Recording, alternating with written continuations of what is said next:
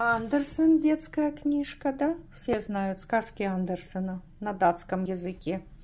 Вот еще одно издание красочное. Вот.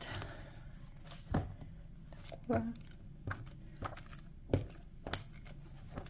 У входа, у центрального входа в библиотеку стояли эти книжечки как рекомендованные для прочтения и самые популярные. И рядом с ними тут же, то есть не разбирают, где детские, где взрослые.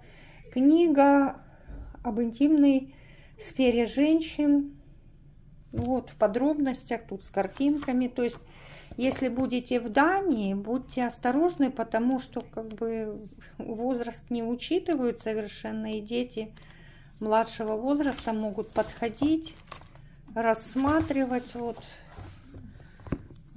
такого рода книги. То есть для них это нормально. Но за русскоязычными детьми, конечно, надо следить. За детьми с другим менталитетом. Это не очень приятно. Я бы не хотела, чтобы маленькие дети, да, там, допустим, мои дети, если бы они были маленькими на сегодняшний день, да, подходили там в 6-8-летнем возрасте и рассматривали подобное.